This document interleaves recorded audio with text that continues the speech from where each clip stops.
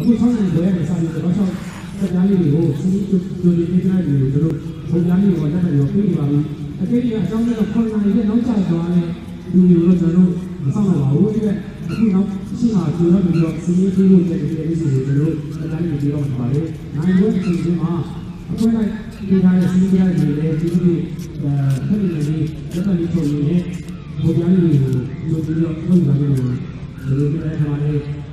ဘုရားရဲ့ဆိုနိုင်တော့မေတို့ဆိုပြောမှပါလေလက်ကလေးကိုပတ်စင်ပါ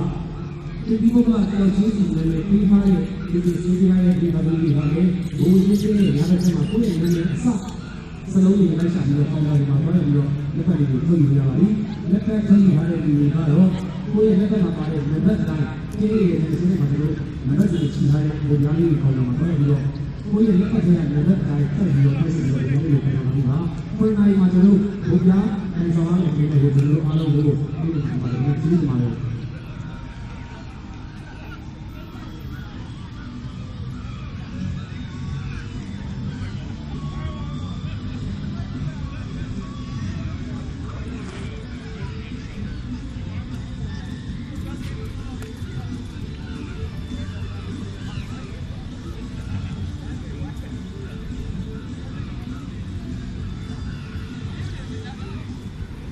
ကျွန်တော်တို့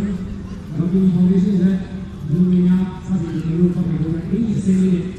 ဘုရားရဲ့တာဝန်ရှိသူများလူနာကျွန်တော်ဒီဆက်လို့ပုံလေးကျွန်တော်ရှိမှတိုင်းကျွန်တော်ကရှိပါတယ်ဒီအင်းကြီးစင်းလေးဘုရားရဲ့